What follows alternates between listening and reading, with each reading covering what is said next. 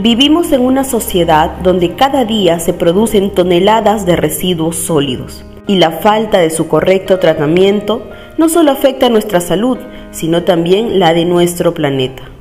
Ante ello, las diversas asociaciones de recicladoras y recicladores de Lima Sur vienen trabajando, recolectando e incentivando en la ciudadanía las buenas prácticas ambientales, reducir, reutilizar y reciclar. Bueno, todos esos son papeles de cuaderno, ¿no? Son papeles de cuaderno que los doblamos en forma de triángulo.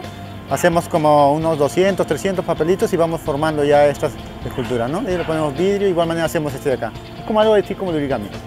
Y ahora sabiendo que las bolsas están dañando la tierra, el mar, ¿no?